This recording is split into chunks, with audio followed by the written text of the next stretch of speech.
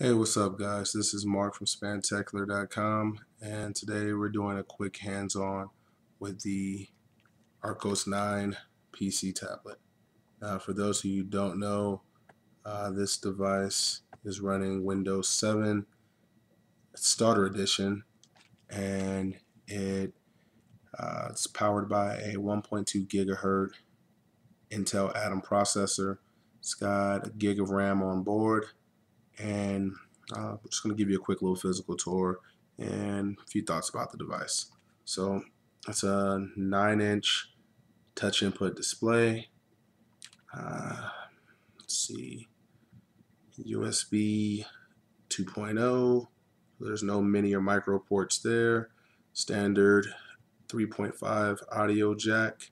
So you can listen with any type of headphones you can get your hand on, be them be be it high end, low end, doesn't matter. Um, also, you've got your kickstand here. So if you want to stand it upright, watch videos, or if you want to tilt it in and kind of lay it down for typing, you got that there. The device also features a removable battery. So in the event that you have a defective battery, you can replace the battery and not have to send the unit in. So that's a plus. There's also a 1.3 megapixel front facing camera for video chats such as Skype video call, uh, Google video chat, and just pretty much anything else out there that supports video chat and works with the Windows machine. So let's talk about what we liked first of all. Uh, key thing that we did like was the fact that this was a Windows device, meaning anything that has a Windows driver and it's within the hardware uh, range, it's going to work with this. So for example, I don't know if you caught that when I held it up, but this is Hulu running through Firefox. And as you can see, works just fine. I mean, there's no apps, there's no gimmicks of a marketplace or anything like that. I'm not trying to say apps are so much gimmicky, but they felt kind of gimmicky after having time with this device. Because, hey, if you need it, you install it and it works. So that that was a relief.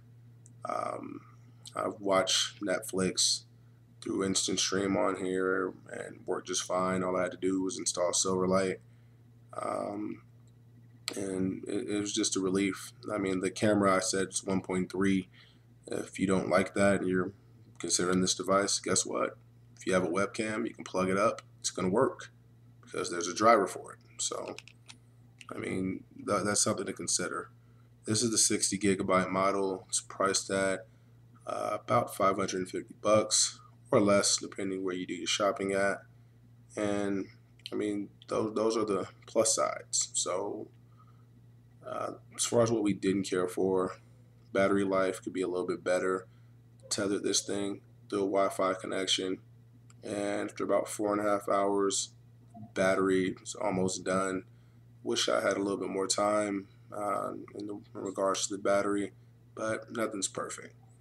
Uh, the device its design. Some like it, some don't. I think it's okay.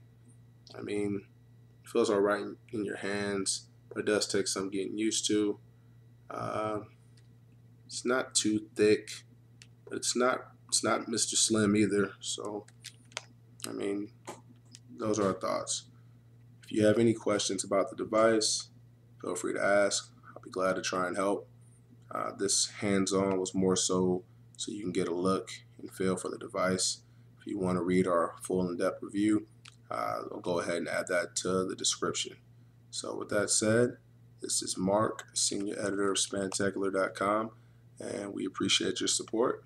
Thanks for stopping by.